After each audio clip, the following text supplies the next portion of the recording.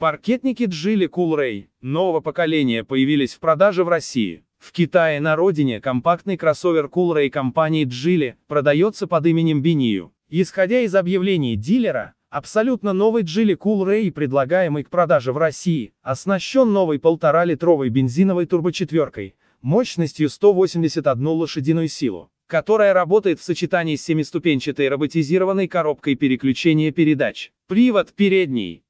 Обновленный Geely Coolray, предлагаемый в России, получил мультимедийную систему с поддержкой голосового управления, навигацию, Bluetooth и удаленное управление. Четыре камеры и четыре ультразвуковых радара предназначены для интеллектуального круиз-контроля и автоматической парковки. Также есть системы помощи на спуске и подъеме. Салон кроссовера, обитый кожей, водительское сиденье оснащено электрорегулировками.